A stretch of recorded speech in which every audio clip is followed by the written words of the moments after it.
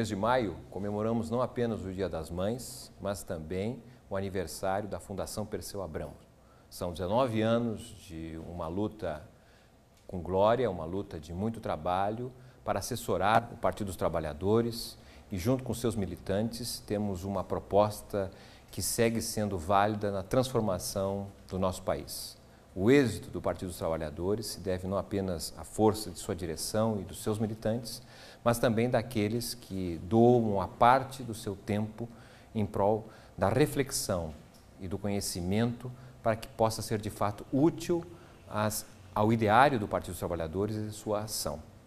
Esses 19 anos construído com muita sabedoria, com muita pertinência, se deve a todos que ajudaram a construir a Fundação Perseu Abramo nesses seus 19 anos, a direção do PT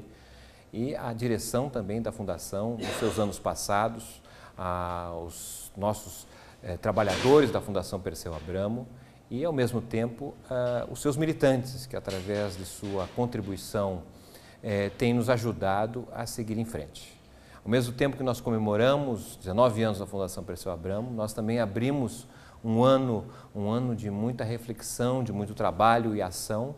é, que concretizará em 2016 20 anos desse trabalho glorioso. A Fundação Perseu Abramo não é apenas uma referência a Perseu Abramo, homem de grande magnitude é, no pensamento brasileiro, mas também retrata uma das principais fundações partidárias do mundo. O PT, um dos maiores partidos de esquerda do mundo, tem uma fundação à sua altura e nós queremos, desejamos que ela continue altiva e fundamentada nesse propósito de auxiliar, continuar auxiliando o Partido dos Trabalhadores nessa luta da transformação do Brasil, na construção de um país mais democrático, um país com muita participação, um país que torne a riqueza cada vez mais próxima aos interesses do conjunto do povo brasileiro.